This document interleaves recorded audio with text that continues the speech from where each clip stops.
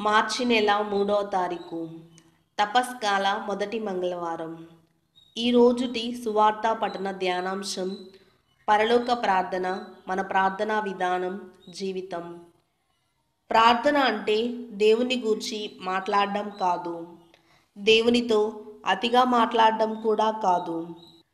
అసలు ప్రార్థనలో ముఖ్యాంశాలు మాటలు కాదు హృదయం. ప్రార్థనలో భక్తి పెరిగే కొద్దీ మాటలు తగ్గుతాయి. హృదయం మూగదవుతుంది. క్రైస్తవ జీవితంలో ప్రార్థన ఎంతో ప్రముఖమైనది. ప్రార్థన ద్వారా దేవునిపై మనకున్న విశ్వాసాన్ని వెల్లడించి ఆయన్ను స్థుతించి కృతజ్ఞతా స్తోత్రాలు తెలుపుతూ ఉంటాం.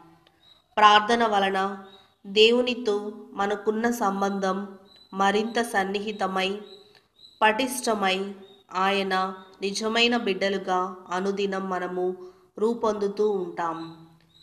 బిడ్డలు తల్లిదండ్రులపై ఆధారపడి జీవిస్తూ తమకు కావలసిన వాని కొరకై మనవి చేసుకున్నట్లే. మనం కూడా ప్రార్థన ద్వారా దేవుణ్ణి మన తండ్రిగా భావించి ఆయనపై నమ్మకం ఉంచి మనకు అవసరమైన వారిని అర్థిస్తాం. అయితే ఎప్పుడూ మన సొంత అవసరాల కొరకే గాక ఇతరుల కొరకు కూడా దేవుణ్ణి ప్రార్థిస్తూ ఉండాలి.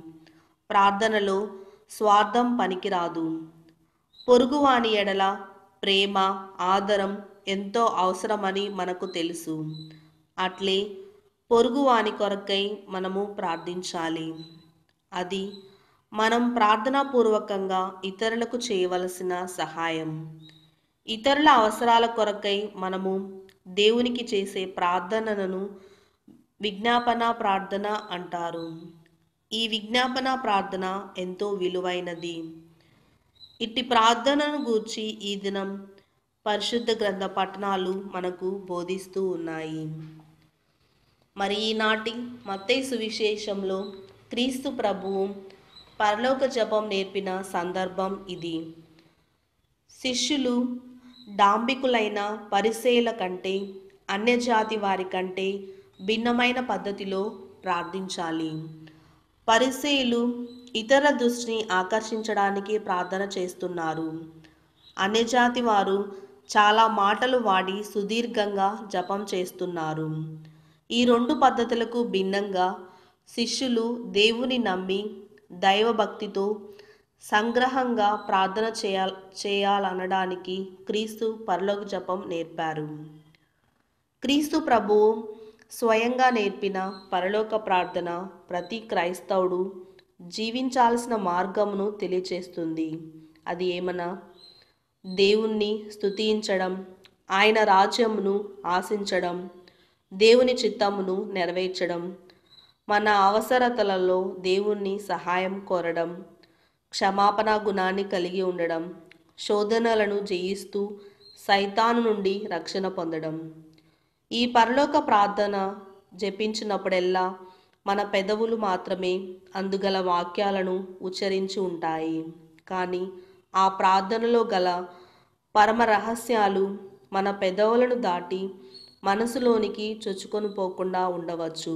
కనుక ఈ రోజు నుండి పరలోక ప్రార్థనను అర్థవంతంగా జపించుదాం. ప్రార్థన చేసుకుందాం. దేవుడు మన తండ్రి మనం ఆయన బిడ్డలం.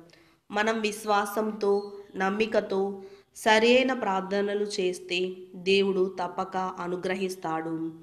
క్రీస్తు మన మధ్యవర్తి. దేవుడు ఆయన చేసే ప్రార్థనలు అన్నింటినీ అంగీకరిస్తాడు. కనుక మనమందరము కూడా చిన్న పిల్లల మనస్తత్వం కలిగి దేవునితో సంభాషించడం కావలసిన విశ్వాసమును నమ్మకమును దయచేయమని ఈ చిన్ని ప్రార్థనను ఏసు నామమున అడిగి వేడుకొనుచున్నాం తండ్రి. ఆమెన్.